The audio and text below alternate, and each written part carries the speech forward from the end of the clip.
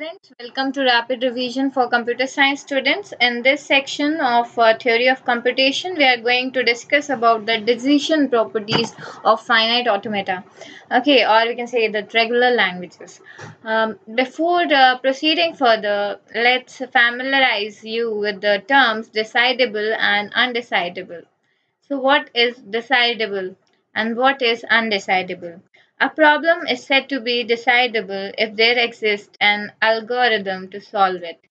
Okay, um, a problem is known as a decidable problem if there exists an algorithm to solve that problem. Otherwise, it is known as undecidable problem. Okay, so these are the two terms that you must be familiar with in order to go through the next section. Now, for the decision properties of finite automata, I may categorize it into four types that is first. Emptiness problem. We will be discussing these three uh, these four problems in detail. That is emptiness problem finiteness problem. That is a particular uh, string uh, that we are accepting. That particular language is finite or not then uh, as the third one is equivalence problem that means checking whether two finite automata accept the same language or not, equivalence problem. Then we will, at the last, we will be studying about the membership problem. It is about a string, whether a string uh, x is accepted by a given finite automata or not. So these are the following uh, decision properties upon which we will be discussing further.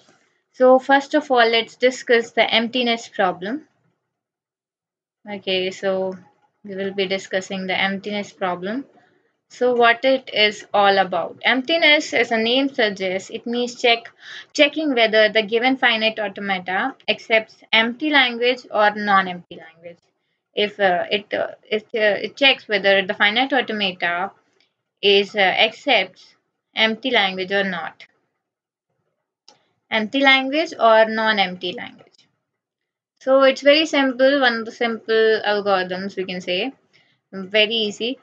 First of all, um, the, this this problem is a decidable problem for uh, finite automata as algorithm exists.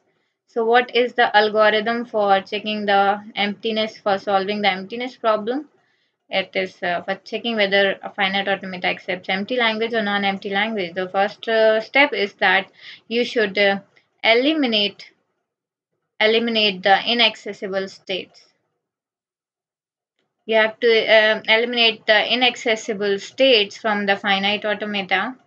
And the second one is that if the resultant finite automata contains at least one final state, if resultant uh, finite automata contains at least one final state then then it means that it is it accepts a non-empty language and um, otherwise it accepts the empty language. If at least one final state then it is non-empty language it is accepting. Okay and otherwise empty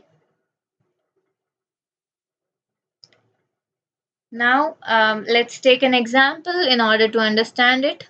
Okay, for the emptiness problem, um, suppose uh, this is an example that uh, this is a particular state. So I'm having a comma b and this is a state y which is like this which shows transaction like this. So if we observe that uh, this part I can say this part is inaccessible from the initial state. As this part is inaccessible, then we are going to, this is the first step that we have to eliminate the inaccessible. Since this is an inaccessible state, we have to remove it. So uh, we are removing this part.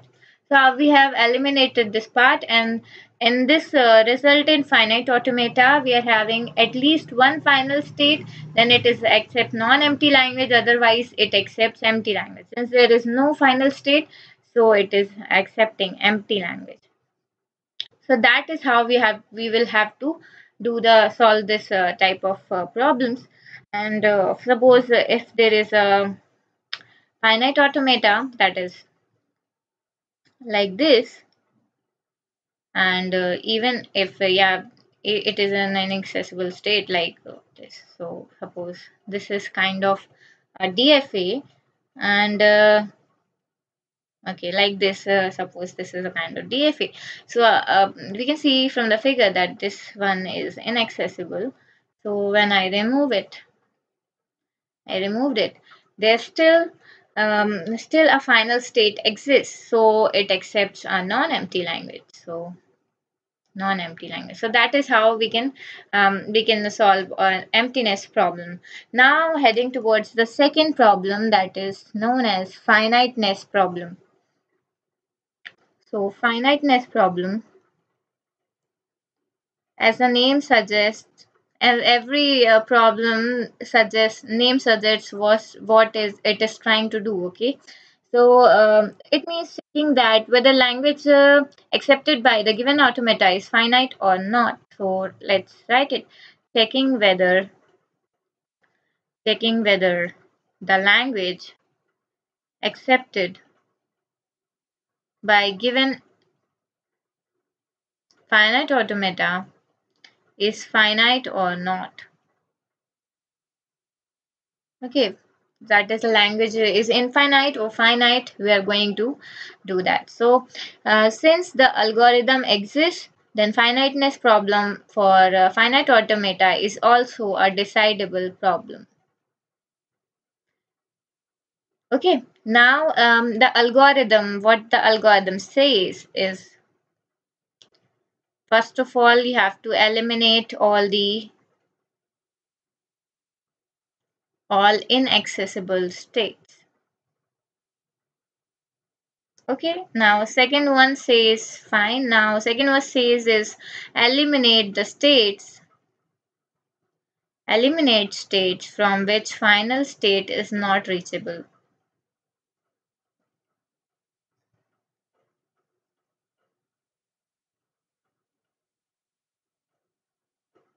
Okay, now Next one is uh, in the resultant finite automata, in the resultant finite automata, if there exists, if there exists any loop or cycle, loop or cycle is there, then the automata automata accepts the finite language. Sorry automata accepts infinite because of the loop. Uh, accepts infinite language. Otherwise finite. So this is the thing that is uh, kept in mind kept in mind. So First of all, you have to remove all the inaccessible states. Then second, eliminate states from which final state is not reachable.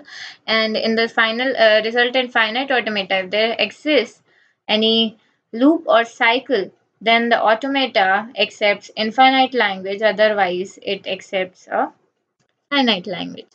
So now um, let's take an example for this also. Suppose I'm having this automata.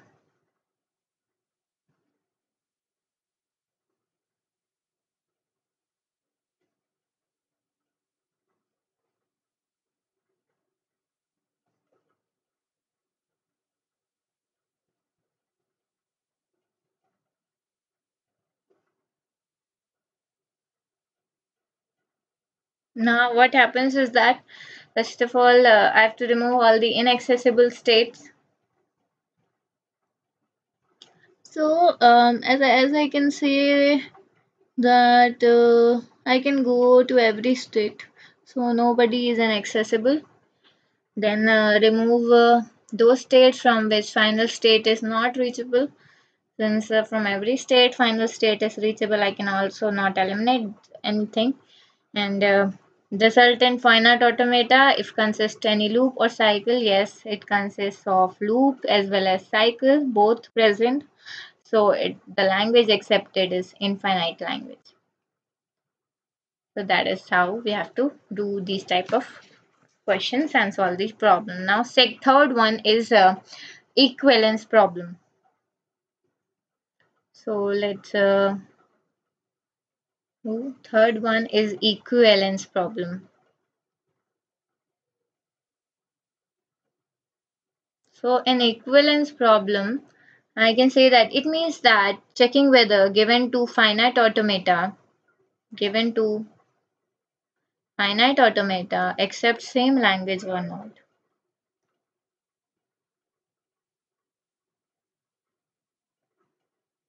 So uh, we are given to a finite automata and you have to check that whether the given finite automata accept the same language or not. So here in this question, suppose this is given like uh, this is our question. This is our state A. This is state B and 0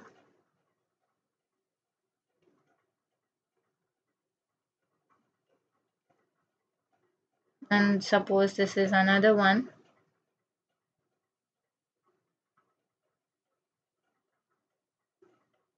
C T. Uh, I can say that this is an important algorithm because it's different from what we well we don't know this normally. That will be helpful in exam if I know that. So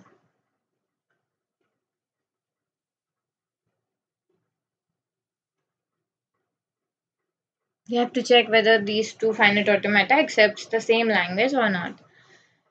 So we have to uh, make the comparison table for uh, this. This is the algorithm that is that says. Uh, first of all I have to make and make a comparison table. Okay uh, and uh, one thing that has to be kept in mind is that we are taking the final final together and non-final non-final together. So let's check firstly what are the final states for here? Final state is a and non-final is b. Here final states are c and d and non-final is e. So final together and non-final together. So comparison table will be like this. So ac final final. AD final final. And BE non-final non-final. And uh, the symbols 0 and 1 for AC we can say that A on 0 goes to A only and C on 0 goes to D. So we are getting AD and uh, on AC A on 1 is B. And C on 1 is E so we are getting this. A on 0 is A and uh, A on D is, sorry, D on 0 is D. A on 1 is B and D on 1 is E. Also B on 0, B on 0 is uh, A and B E on 0 is C. B on 1 is B and uh, E on 1 is E. So let's check whether the thing we have to do is to check whether the final final and non-final non-final are together or not. So these are final and this these are final A and CD. So AC and AD are final, then it's okay. So AD is okay, AD is okay, and AC is also okay. And B must uh, and B and E must be together. So B, B, and together. So all are uh, we can say that final, final are together, and non-final and non-final are together. So uh, it accepts uh, the same language. Therefore, these two are equal. Suppose something uh, suppose AE comes here then what happens that will be not equal okay so that is the concept that is the algorithm to do this now uh, heading towards our fourth property that is the membership problem. Membership problem is uh, as the name suggests I told you that each of the properties has its specified name so it does the same work only. So it means checking whether string x string x is accepted accepted by given finite automata or not this uh, this uh, problem is uh, decidable because by reading a complete string, you by uh, reading the complete string, automata halts in final state. And after the completion of the whole string if it is in final state then it is a member. Otherwise if it is a non-final state if it halts somewhere else then it is it does not belong to the finite automata. It is not accepted by finite automata. So uh, traversing a string or parsing or we can say uh, checking a string uh, is a member of the given finite automata is checked by whether it uh, it enters into the final state after the whole traversal and it is a member. Otherwise it is not so that is all for decision properties of finite automata. Thanks for listening. If you like the video please like comment and subscribe. Bye for now. Thank you